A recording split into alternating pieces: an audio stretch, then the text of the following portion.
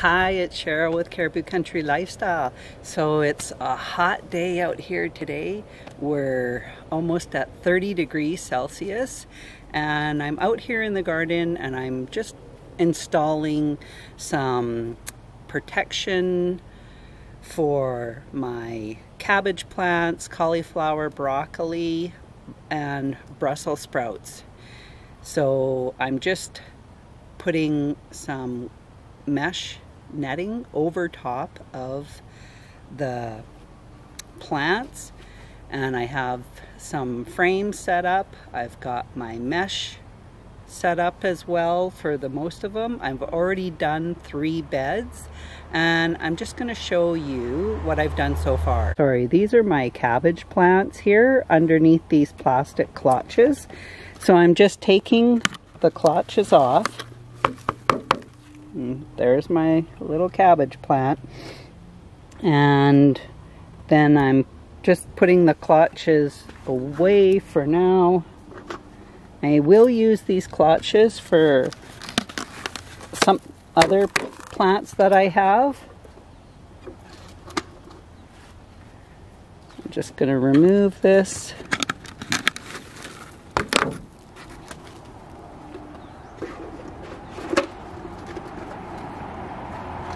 And one more.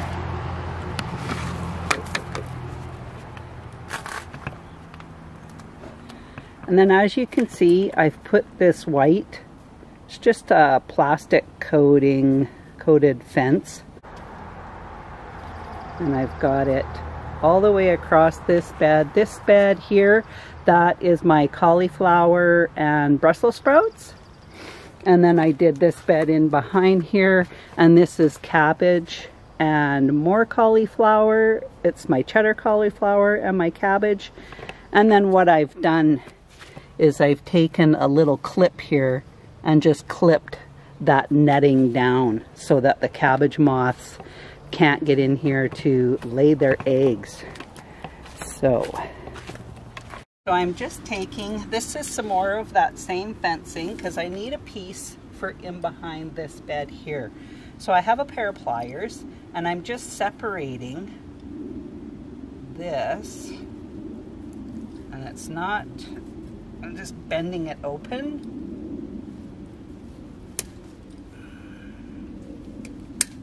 It doesn't matter because this is, like I say, it's just old fencing. And then what I'm going to do is I'm going to set it up in behind this bed. And I'll slide it in behind.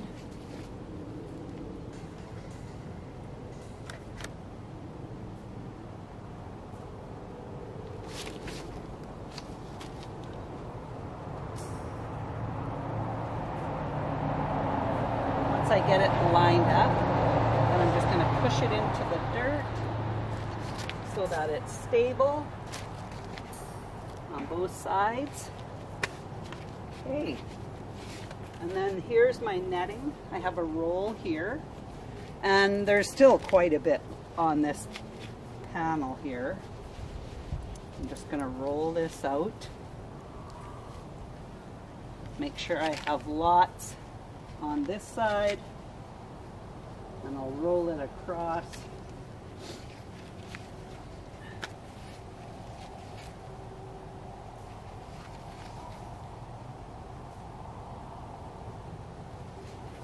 and I want quite a bit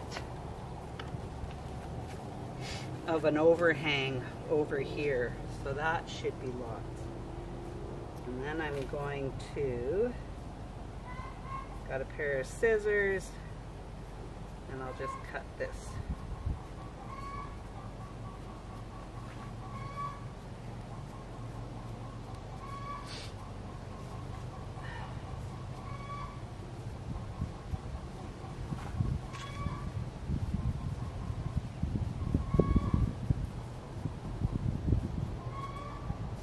Okay.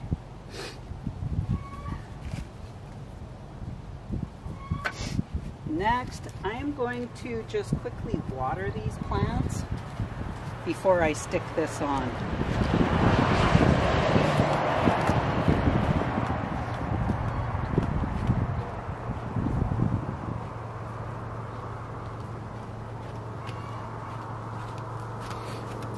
I have some water already.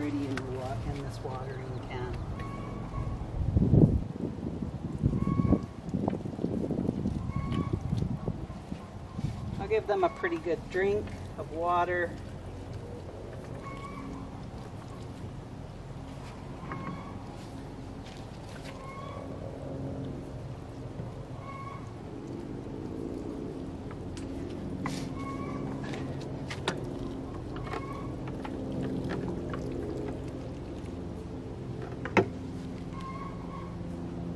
I think it was pretty hot. Yesterday we weren't here. We actually went golfing through my husband's work.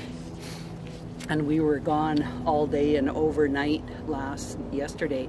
And it was probably about 25 degrees Celsius yesterday. And we were golfing. So I had those plastic clutches over top of these plants. And I really think it was a little too hot for these plants because uh, some of them are looking a little peaked. So this is a good thing that I'm getting this done now. So we'll pull this uh, cloth back over here. And I want to make sure that it's got enough in the back so that the moths can't get in in the back.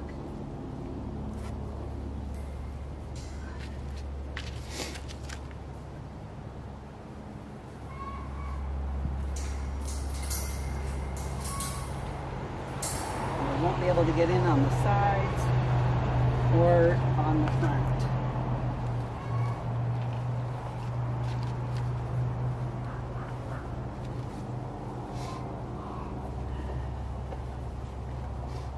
The problem is if those cabbage moths come in here, what they end up doing is they lay their eggs on the plants and then you have all kinds of cutworms in your plants and they just put do so much damage to your plants that it's not even funny. And then I have just some little some clips and I'm just going to clip the fabric down to the plastic little fencing. My also my husband also gave me these little uh, clamps here and uh, I'm putting those on the corners of the bed just for some added protection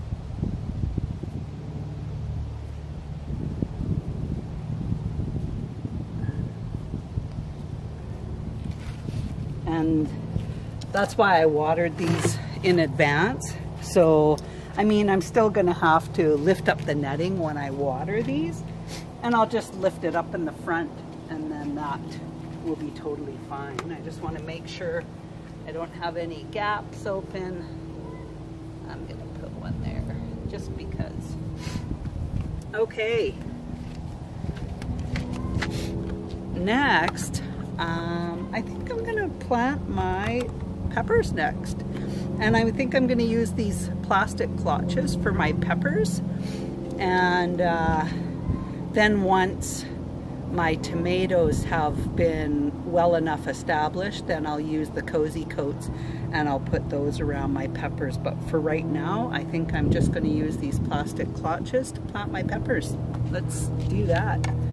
So it's a few days later, I um, ended up having to, this whole cloth that I had put over this fence, um, I seem to be having some pest issues with it, and it's not the pest bug issues that I'm having with it.